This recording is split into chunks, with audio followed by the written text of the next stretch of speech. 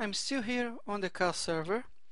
Yeah, one of the other scripts I want to show you guys. That is create project structure. Basically, it's going to create. Let's open the PowerShell as administrator as well.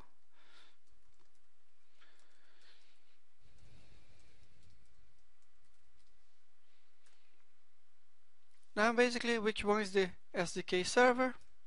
Now the project name, let's call this matrix and create a global project. Yes. Now it's going to start to create folder and collections. Now if I in the meantime open here the configuration manager console as you can see it's almost done here creating a lot of folders. If I go here to user collections,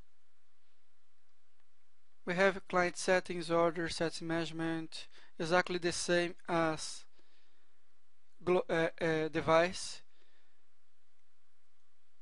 Then we have here all those folders and subfolders.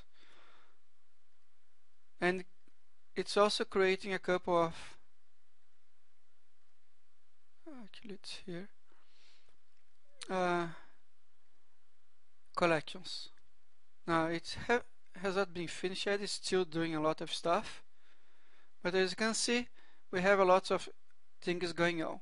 There are also here compliance settings. It's also created a couple of uh, folders. Let me see if it has finished yeah it's done. And as soon as you use this what it does as well here in the administration the client setting is going to validate this one here this client settings that's been created before and perform the deployment for the config manager servers collection that's been also created